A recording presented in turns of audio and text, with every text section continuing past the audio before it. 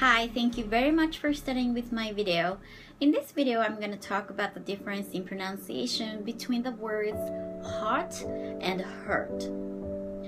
え、heart 心という単語ですねこの heart というのは口を大きめに開けて、えー、腹の底から空気をいっぱい使ってああとはっきり言います heart heart heart そして hurt 傷つけるですとか傷つく。この hurt というのは少し口をすぼみ気味にして、えー、hurt hurt この「あ」の音は先ほどの大きな口を開ける「あ」とは違い、えー、曖昧な母音の音にしてあります。う、う、う。この辺でなんとなく「あ」「あ」でも「え」でも「い」でも「う」でも「え」「お」でもないこう「う、う」この音ですね。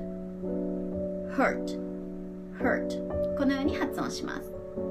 まず hot という単語を使ったイディオマティックな表現を、えー、いくつか紹介したいと思います。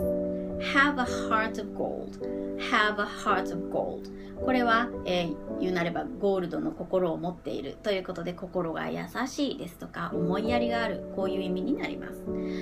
Josh is so generous. He has a heart of gold.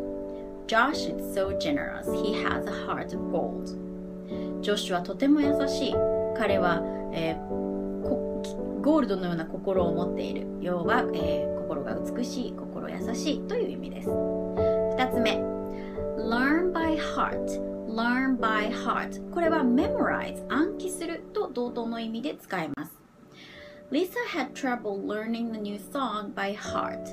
Lisa had trouble learning the new song by heart ということでリサは新しい歌を覚えるのにとても苦労をしたという意味になります最初 Josh is so generous he has a heart of gold 二つ目 Lisa had trouble learning the new song by heart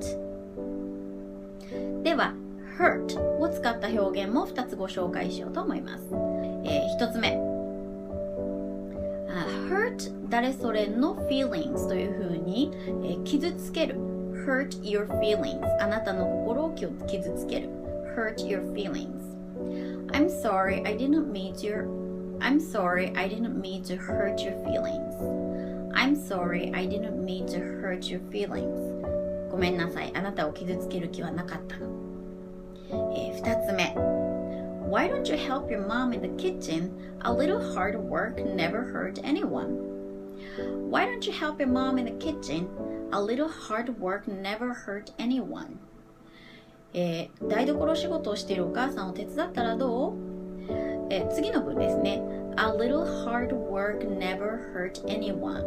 これは直訳すると、えー、少しの努力は誰も傷つけなかったということで、まあそれだけ聞くとあまり意味がわからないんですが、えー、もう少し意訳をしますと、えー、少しぐらい頑張ったって死にやしないよということです。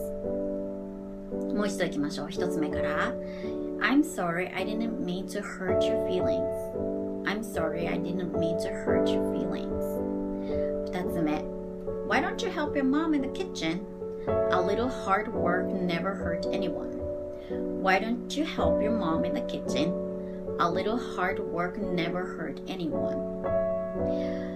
えー、A little hard work never hurt anyone はもう大体いつもこの形で使えますのでもう一文丸暗記をする気持ちで何度も何度も口に出して言ってみてください。